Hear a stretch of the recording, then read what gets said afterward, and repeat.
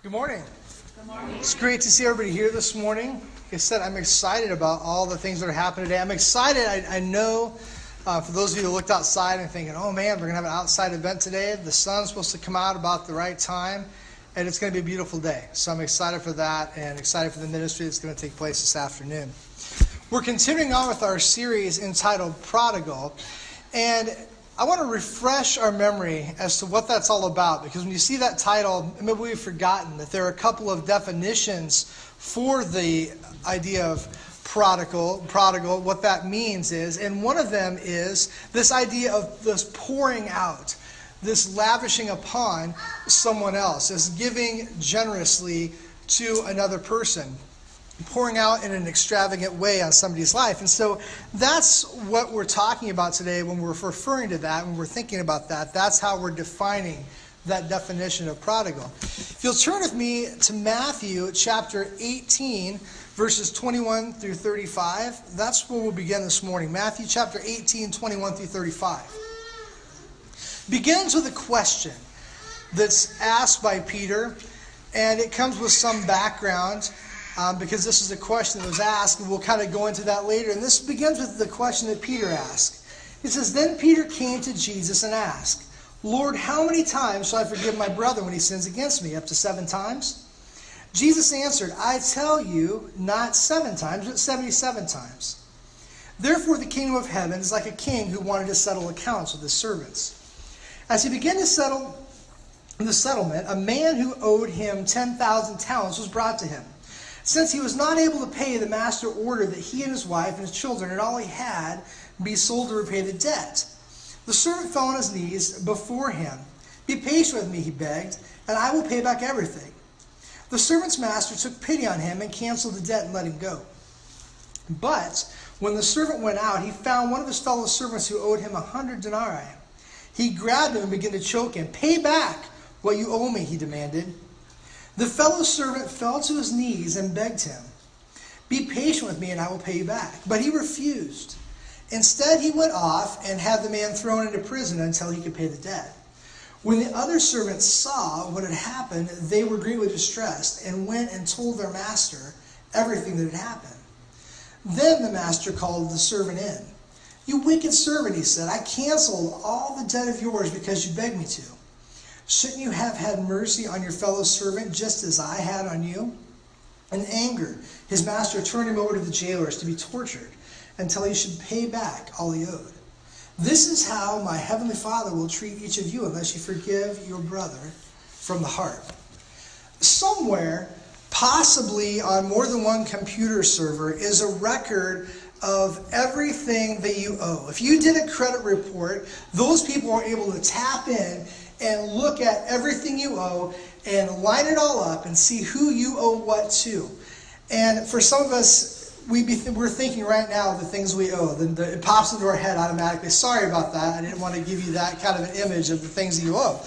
But it's a reality for everybody. Mortgages, car loans, student loans, credit cards, medical bills, all of these things, we know what we owe. We know the things that we owe, the things that we have to pay. Down to the penny, this somewhere else, somebody else is calculating this, tabulating this, and keeping track and compounding interest.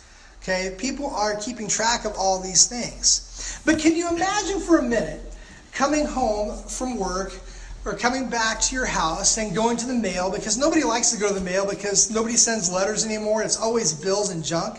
So, but you have to open it. So you open the mailbox and you pull it out and there's a letter from one of the places that you owe and you're dreading opening it because you don't want to see your balance you don't want to see what's owed but you slice it open pull out the letter and plug your nose and prepare to read and you find out it says dear mr or mrs so and so we've been reviewing your account and it is your lucky day. This is your lucky day. Your account has been settled. We've settled it. It's all forgiven. It's paid in full all your debt that you have with us is wiped clean. Have a great week. I, am still looking for my letter like this. I don't know. I, I mean, I have no other thing but hope when I look in the mailbox. I figured maybe that could be the day. But wouldn't it be amazing if we got a letter like this and we had been forgiven of our debt, can you imagine the relief you'd feel? You'd celebrate. You'd be posting happy, happy Facebook posts and you'd be sending texts to all your friends saying, You're not going to believe what just happened. Maybe you'd even go out for supper because you feel like, I can afford to go out for supper because this debt has been resolved. And you're excited about that. You would be so happy. There'd be no more sleepless nights. There'd be no more pinching pennies. There'd be nothing hanging over your head. You're forgiven. In Matthew chapter 18, 21 through 35, we're privy to a conversation between Peter and Jesus dealing with this whole idea of forgiveness. Now, it's not a monetary matter that, that we're talking about here, but Jesus uses that as an example to teach us a lesson on, a, on forgiveness in a spiritual sense. And we learn from this passage that as followers of Jesus, we must forgive other people. From the passage, we find three truths that will help us as we learn what it means and learn how to forgive other people. And the first lesson is found in verses 21 and 22, and that is we have to learn that forgiveness is a way of life. Forgiveness is a way of life. Verses 21 and 22 of Matthew 18. It says, Then Peter came to Jesus and asked, Lord, how many times shall I forgive my brother when he sins against me? Up to seven times? Jesus answered, I tell you, not seven times, but 77 times. In verse 21, Peter poses a question about how many times I should forgive my brother. And when we read that, for us here in the 21st century, it seems like kind of a weird question. Why would you ask that? Why would you pose that question? Why would that even cross your mind, really? About how often should I forgive people. We take for granted that, oh, we should forgive people, and that's the right thing to do. But looking from a Jewish perspective, there was a law that was in place, and the law said, and they were taught, and there was a debate amongst the rabbis how many times that they should forgive people. And the common belief at that time, from everything that I've read, was they said we should forgive people three times. You forgive people three times which is interesting. It's kind of like three strikes in baseball. Three strikes, you're out. But you give them, forgive them three times. And on the fourth time, you're good to go. You don't have to forgive them anymore. You can write them off, and they can receive the punishment that is due for whatever infraction it is that they have caused, in keeping with that letter of the law. Peter, by choosing the number seven, is actually showing some generosity. And I'm not sure why he did that, why he chose the number seven just trying to add a little bit more to it, or, you know, this is just a common number that's used in Scripture, the number seven, so maybe this is why he uses that number. We're not exactly sure. But Jesus' response, we're very clear of, and we see what he has to say. Jesus responds with 77 times. And this wasn't meant to be a number to be kept track of, but rather communicating that we must be willing to forgive one another indefinitely. We must be willing to forgive one another each and every day for everything. It's a way of our life. When you're a kid, at least when I was a kid, I thought that the 77 deal, I thought that was great because I'm thinking to myself, I had I had some people that, that used to bug me, and I, th- I thought to myself, one time I was trying to count up in my head how many times I'd forgiven those people, and I thought, surely I'm into the hundreds by now. so that should be good. Until I actually learned what this actually meant and what Jesus was actually getting at. And I'm sure a lot of people might look at it that way too, thinking, I've forgiven these people enough. But Jesus is saying this has to become a way of life. We're not responsible for keeping a score against other people. It's not our responsibility to keep score and tally for what other people have done. If you have your Bible, turn with me to 1 Peter 4 8. This is what Peter has to say. Peter says this He says, Above all, love each other deeply because love covers a multitude of sins. Love covers a multitude of sins. So each of us, when we look at that scripture, we have to think about that. We're thinking about our forgiveness in terms of how we love other people. Do we love other people? Are we showing that love to others? Or are we keeping score? Each of us has a responsibility to love and forgive as our first response. We don't keep track of how many people times people have sinned against us or what our brothers have done to us and begin to harbor bitterness towards them. We just forgive them. We just forgive them because that's our way of life. That's what we're called to do. We forgive other people as our response. Do we look at people and view them? And this is the question do we look at people and view them based upon what they've done to us or the choices that they've made? Or are we quick to forgive people and view people in a different way? Do we look at people through the lens of their past failures? How do we do this? God's desire is for all people that sin to be restored and in right relationship with Him. We can show our forgiveness to individuals. There are ways, how do we know if we've forgiven somebody? What are some things that we can do? How do we know?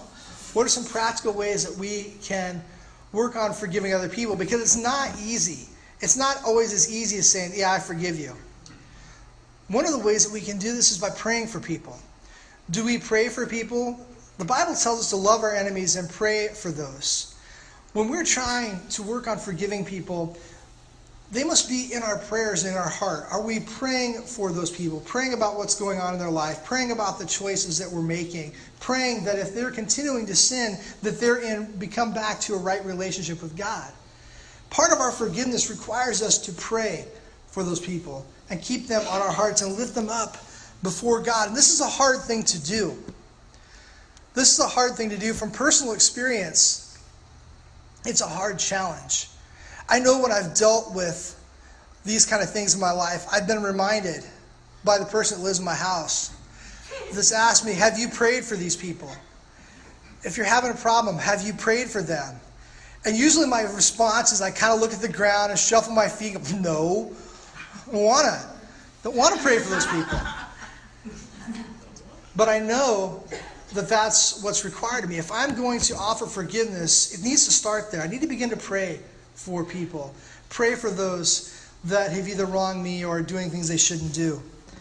It's awkward and it's difficult at first, but that's something that we need to do. Another way that we can demonstrate our forgiveness is by encouraging people. Sometimes we can encourage them. If they're going down the wrong road, we continue to encourage them either by a note or face to face? Can we encourage people and try and and show that we love them and we care about them? Even if we disagree, we can encourage those people. Are we willing to do that? Are we willing to care about people enough to forgive them and encourage them?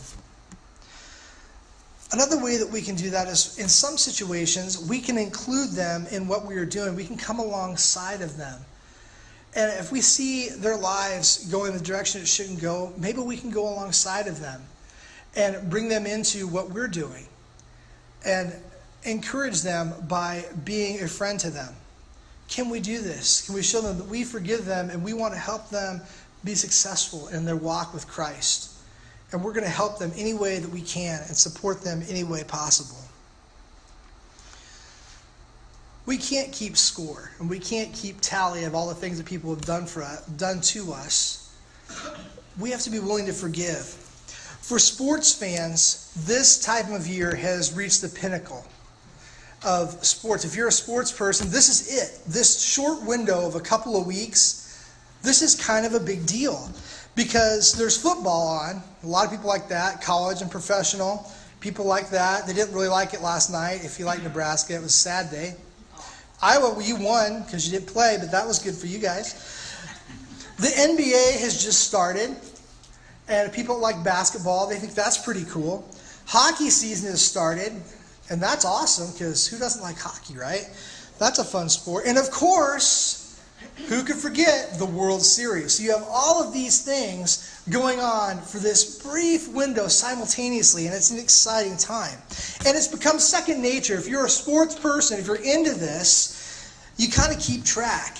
And you hear in the hallways here at church, you hear it where you work or when you're around people at the store, people talking about the score. What was this score? What was that score? Who won here? Who won there? What were how many receiving yards this person have? How did this all work out? And we keep track of all these facts like there's something that's really super important. And it becomes an important thing. Life has become a sport to us. It's like that. We treat a lot of ways, a lot of things in life like a sport. Nike even has a slogan that said, Life is a sport. They've used that. But the difference between life and sports, the difference between life that we live every day and what's going on on fields all around the country is that unlike sports, in life we don't keep score. We don't keep track of all these things. And Jesus is telling us in this passage that if we're going to love like he did, forgiveness has to be our way of life, not keeping track of ways people have sinned against us. That's what he's called us to do. There's a second lesson that we learn from this passage in Matthew 18. And that is we must remember how the Lord has forgave us. Let's pick up at verse 23 through 27. And Jesus answered, I tell you, or not seven times, but 77 times. That was verse 22. Sorry about that. Therefore, the kingdom of heaven is like a king who wanted to settle accounts with his servants. As he began this settlement, a man who owed him 10,000 talents was brought to him. Since he was not able to pay, the master ordered that he and his wife and his children and all he had be sold to repay the debt. The servant fell on his knees before him. Be patient with me, he begged, and I will pay back everything. The servant's master took pity on him and canceled the debt and let him go. In this passage, Jesus is using an illustration of a king and a servant to make his point. The idea that he is communicating to us is that we have been forgiven. And we have not been forgiven just a little bit, we've been forgiven an astronomical amounts. And I was trying to figure out exactly what the amount was that Jesus is using here when he talks about uh, that amount, the 10,000 talents. And there's been a, there's a lot of discussion about how much that is. And the best thing I could come up with is the fact it's a lot of money. It's, it's an astronomical amount that can never really be repaid. Nobody seems to be in agreement upon what that is. But it's an astronomical amount of money that was owed. And that's the point that Jesus is making here is what we owe, our debt to God, is an astronomical thing. It's a large amount that we can never repay. The rulers of that time, they took outstanding debt very seriously. This wasn't a game for them. They didn't play around with people owing people money. If you didn't pay your debts, if you didn't pay what you owed, you would be locked up, punished, everything that you had sold, and it was bad news for you. There was no grace, there wasn't forgiveness. This was what it was. This was the law. You followed the law. People took it seriously. This was an important thing. But the servant pleaded his case in a, a state of desperation. He begs the king and tells him he'll pay back everything he owes, which, as we know as we're sitting here, that's a lie. Because there's no way he can pay back everything he owes. That's the point. He couldn't pay that back, but he's begging. But in an unexpected show of mercy, the king forgives his debt. The king forgives him. We don't know why he does that, doesn't say. But the king has forgiven the debt that is owed to him. When we think about our lives and think about who we are, we serve a king that has, in fact, forgiven our debts. Turn me to Romans chapter 4, verse 25. Romans 4:25. Paul writes this, talking about Jesus. He was delivered over to death for our sins and was raised to life for our justification. He was delivered over to death for our sins and was raised to life for our justification. We look at that and we see that Jesus was given over for what we'd done. He paid the price that we couldn't pay. He paid the price for our sins on the cross. And that has given us the forgiveness that we couldn't earn on our own. When we look at our lives, an honest evaluation will show that we've been forgiven much more than anything we could ever imagine. And we need to continue to forgive others. And we are continually being forgiven in our lives. As we look at other people, it should bring us pause for reflection as we think about our own lives and how we've been extended grace by our Heavenly Father. It should cause us to think about this and think about what God has done for us. If we're going to be grace givers, we must live lives of gratitude for the grace and forgiveness God has given us. When we're thinking about this, does it cross our mind very often about what God has done for us? Do we make it ever a matter of prayer? When we spend time with God, do we thank Him for His mercy that He gives us daily to us? Do we thank God for the mercy that He shows us? That's one thing that we can do. As we look at Scripture, do we see the examples of how Jesus is forgiven to us? Do we remember those Scriptures and hide them in our heart and think about them and meditate on them as we deal with others so that they're there to recall when we think about what Christ has done for us as we are dealing with other people throughout our day. Jesus has set us an example of how we're to love and forgive other people. And this is something that we have to remember and we have to pass on to others. We have to remember where we came from, remember where we were, and remember what was given to us. Remember what was lavished upon us by God. This forgiveness to each of us. There's a phrase that's often used when talking about people that have risen out of low situations and have risen to something great, risen to something big. And that phrase is remember where you came from. Remember where you came from. We always admire an athlete or an entrepreneur that remembers where they came from. Oftentimes, we see these little vignettes that people do, these short stories, these little videos of people that have come from humble circumstances and they go back to where they came from. And maybe you see them at the barber shop or at the store talking to people. You see them at a school making donations, helping people, setting up a foundation for their area um, to help people that are in need. They remember where they came from. And they remember that they've ex- received much and been blessed much and are giving back. When we think about our relationship with Jesus, we have to remember where we came from. Remember the grace that has been given to us, the forgiveness that's been showed to us, and be mindful of this as we offer forgiveness for other people. We have to think about this as we give back to other people and show that grace and mercy. There's a third lesson that we learn, and that is we must view forgiveness from a kingdom perspective. Verses 28 through 35. of Matthew. Verses 28 through 35. But when the fellow servant went out, he found one of his fellow servants who owed him a hundred denarii. He grabbed him and began to choke him. Pay back what you owe me, he demanded. His fellow servant fell to his knees and begged him, Be patient with me, and I will pay you back. But he refused. Instead, he went off and had the man thrown into prison until he could pay the debt. When the other servants saw what had happened, they were greatly distressed and went and told their master everything that happened. When the master called the servant in, You wicked servant, he said, I cancel all the debt of yours because you begged me to. Shouldn't you have shown had mercy on your fellow servant just as I had on you? In anger, his master turned him over to the jailers to be tortured until he should pay back all he owed. This is how the Heavenly Father will treat each of you unless you forgive your brother from the heart. Jesus is teaching here that our forgiveness of others relates to how God forgives us. It's a kingdom thing. This is an important thing. Our relationship with God and His kingdom rests on this, how we forgive other people. We're called to model His example. Ephesians 4:32.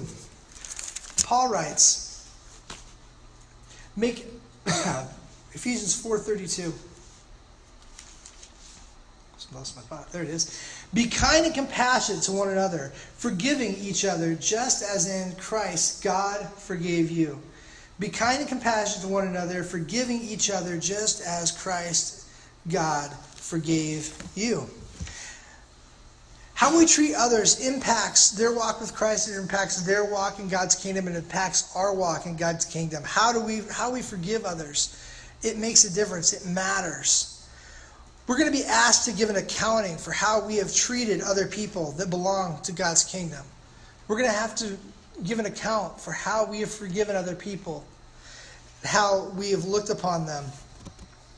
We're not only, we have to remember, we're not only representing ourselves here with how we treat others and offer forgiveness, but we're representing God's kingdom. How we act, how we conduct ourselves, we have to remember that we're representing not only us, but God. This is a difficult thing. When we think about this, how do we represent God? Is our attitude towards others the same as Jesus? Do we treat people with that kind of love and forgiveness? Do the words that we say in person, what we type online, what we send to people in text messages, do they represent who we say we believe? This is a difficult thing. Does our treatment of others reflect poorly on the God that we serve? We have to ask ourselves this question How do we forgive? How do we forgive other people? It's a kingdom issue. Are we prepared to answer for the actions and receive the kingdom consequences for our lives? Are we prepared to answer for the things we've done and give an accounting for what's taken place during our time here on this earth? We have an expectation that we're to follow God and we're to forgive and love as He did. Many organizations, many teams, etc., have contracts or covenants for how they act. People sign up, they know what they are. There are certain expectations for those that are a part of a group or part of a business. And if those expectations aren't met, they have to give an accounting. And we frequently hear things from businesses or athletics. We've heard a lot of this at college level that they're suspended or dismissed because of violation of team rules. Now, we don't always know what they did, we don't always know what caused the issue. But everyone knows that if they belong to this group, this business, this organization, when they belong to that, there are some things that they need to do and a way they need to live and a way they need to conduct themselves. We who belong to God's kingdom have to understand the expectations that we have been given, that have been put forth for us in Scripture. And we have to understand that we're going to have to give an answer or an accounting for the things that we've done, for how we live, how we conduct ourselves. We're going to have to give a response for this. As followers of Jesus, we must forgive others. We have to understand, and this has to become a way of life. We have to remember that we too have been forgiven. We must look at this from a kingdom perspective as we seek to follow Jesus in all that we do. We've come to a point in our service where it's time for a decision we're thinking about Christ and what he's done for us on the cross. Maybe someone here hasn't made that decision to make Jesus Christ, accept him as their Lord and Savior. We invite you to come for that. We'd also invite you to come if you'd just like to be prayed with. Um, maybe as you relate to people, we would love to pray with you and encourage you and cheer you on as you seek to follow God in all that you do. Would you stand as we close in song?